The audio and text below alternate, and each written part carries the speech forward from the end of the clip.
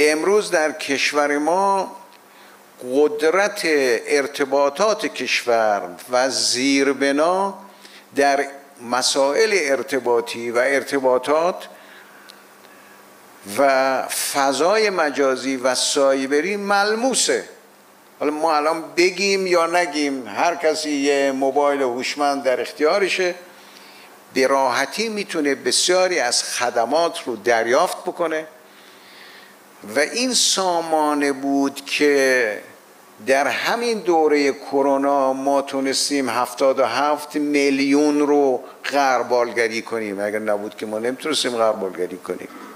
همین سامانه بود که باعث شد به راحتی ما حدود 22 میلیون نفر رو بتونیم وام در اختیار اونها بگذاریم. همین سامانه است که به راحتی الان کمکی که ما میخواییم صد هزار میلیارد تومان به عنوان وام ارزان قیمت در اختیار بگذاریم. همین سامانه است که کسی لازم نیست جایی مراجعه کنه بلنشه بره. این رو مردم لمس می‌کنن. چیزی نیست که ما بگیم یا نگیم. شرکت های دانش بنیان آثارش به تدریج برای مردم ملموس میشه. بسیاری از این شرکت های دانش بنیان خدماتشون در داخل همین فضای مجازی هست که مردم می‌تونن لمس کنن. این فضای مجازی بود که باعث شد ما در این دو سه ماه پایان سال تحصیلی بتونیم مدرسه رو تعطیل کنیم آموزش رو نگه داریم.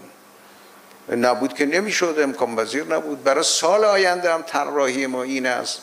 ما که از 15 شهریور میخواییم فعالیت های آموزشی دانشگاهی ما و مدارس ما آغاز بشه بخشیش حضوریه بخشیش مجازیه.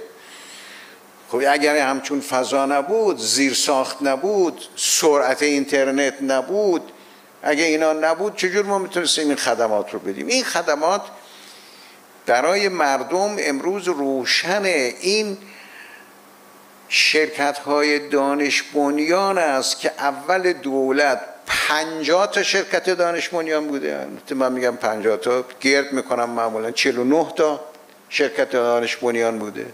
امروز پنج هزار شرکت دانش بنیان داره فعالیت می‌کنه. و من به استاندارا توصیه کردم کارخانه نوآوری که در تهران افتتاح شد برخی از استان هم دارن تلاش می‌کنن هر استانی بتونه یک ساختمان مناسب رو در اختیار بگذاره. ما کارخونه نوآوری رو بتونیم تأسیس کنیم ایجاد کنیم در همه استانها. اینا خدماتی است که مردم می‌بینن. برخی از خدمات خدماتی است که ممکنه استانی باشه و حالا یا منطقه‌ای باشه. اینجا ما باید برای مردم بیان کنیم تبیین کنیم.